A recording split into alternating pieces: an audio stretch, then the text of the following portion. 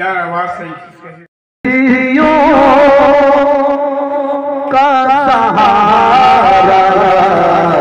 सलामत रहे गरीब नवाज़ के नाम पे कह दो यार तो यार चिश्तियों का सहारा सलामत रहे।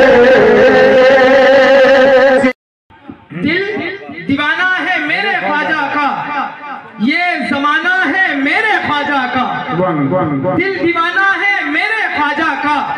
ये जमाना है मेरे ख्वाजा का। चल हुसैन, अब दयार में उनके हुक्म आया है मेरे ख्वाजा का। हुक्म आया है मेरे ख्वाजा का। माइक पर नूर कादरी साहब। वालों, अल्लाह से ईमान वालों, खशियत रब्बानी पैदा करो। ईमान वालों, खौफ खुदा पैदा करो। वकूनु सादिकीन और सच्चों के साथ हो। जो लोग खड़े हैं, मेरी उनसे गुजारिश है कि वो भी तशरीफ़ रखें, मोहब्बत के साथ। रब कायनात फरमाता है, ईमान वालों, अल्लाह से डरो और सच्चों के साथ हो जाओ। क्यों हो जाओ? सच्चों के साथ क्यों हो जाओ? रब कायनात फरमाता है ईमान वालों, अल्लाह से डरो और सच्चों के साथ हो जाओ अच्छों के साथ हो जाओ नेकों के साथ हो जाओ क्यों हो जाओ? वजह यह है कि सोहबत असरअंदाज हो। बोलो भाई गुर्बत असरअंदाज होती है। सोसाइटी असरअंदाज होती है। संगत असरअंदाज होती है। उठक बैठक असरअंदाज होती है। जैसी सोहबत होगी ज़िंदगी पर वैसा ही असर होगा। जैसी आपकी सोसाइटी होगी जैसी आपकी उठक बैठक होगी, जैसी आपकी संगत होगी, ज़िंदगी पर वैसा ही असर होगा। अब मैं बात को तूल ना देते हुए अर्ज़ करना चाहूँगा कि अगर आप बदअकीदा लोगों की सोबत में रहेंगे तो बदअकीदा हो जाएँगे। बददीन लोगों की सोहबत में रहेंगे तो बददीन हो जाएँगे। अगर आप बेनमाजियों की सोहबत में रहेंगे तो बेनमाजी हो जाएँगे। अगर आप बदकार लोगों की सोहबत में रहेंगे तो बदकार हो जाएँगे।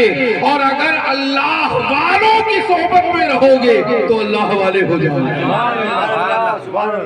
सोहबत असरअंदाज होती असरअंदाज होती है। सोसाइटी असरअंदाज होती है। और मैं यहाँ पर एक नजीर भी पेश कर दूँ जल्दी जल्दी में। आप लोगों ने तारीख नहीं पढ़ी।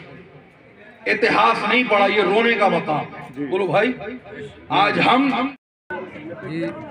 सदक अल्लाज़ीम वबल्लगना रसूलनबी करीम अम्माबाद अज़बिल्लाशैतानरजीम बसमीम आज यहाँ जिगर कॉलोनी मुरादाबाद के अंदर थाना सिविल लाइन क्षेत्र के अंदर हमारे अरसद जोनी जो हमारे जोनी मुरादाबादी जो बहुत फ़ेमस शख्सियत थे उनके बेटे हैं और उनके बेटे का ये जो मकान जो दौलत खाना है जिगर कॉलोनी में ये हज़रत ख्वाजा मोइनुद्दीन चिश्ती रहमत ताली की छठी शरीफ को हर साल करते हैं और हर साल में कई महफिलें लगातार करते हैं। और इस लगभग कितने सालों को होंगे?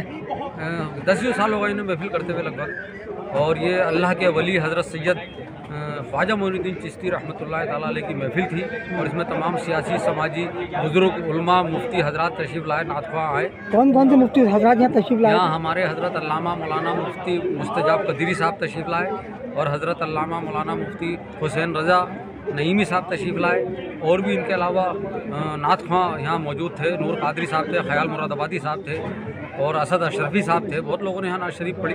बहुत अच्छा यहाँ नूरानी माहौल रहा नूरानी महफिल रही। किस तरह से ये जो है न्याज का प्रोग्राम जो है मैं आज से नहीं दस साल की उम्र से करता आ रहा हूँ। जब मैं किराए के मकान में रहता था जब से मैं करता आ रहा हूँ और आज इतनी बरकत हो गई है कि कहाँ मैं छोटे से स्टार्ट करता था आज तादाद देख रहे हैं आप दिन ब दिन बढ़ती जा रही है। और मेरे यहाँ दो तीन प्रोग्राम होते हैं।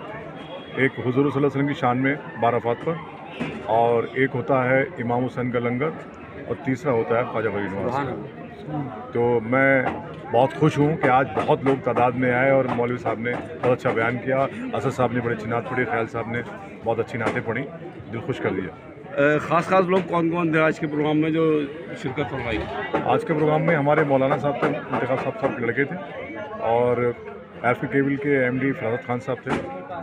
और आज वो ने नासिर कुरैशी साहब भी आने वाले हैं और भी हमारे बरेली से लोग आए दिल्ली से लोग आए और तमाम जिया कॉलोनी के लोग। अच्छा बरकतें लज्जतें क्यों ना हो? क्योंकि ये प्रोग्राम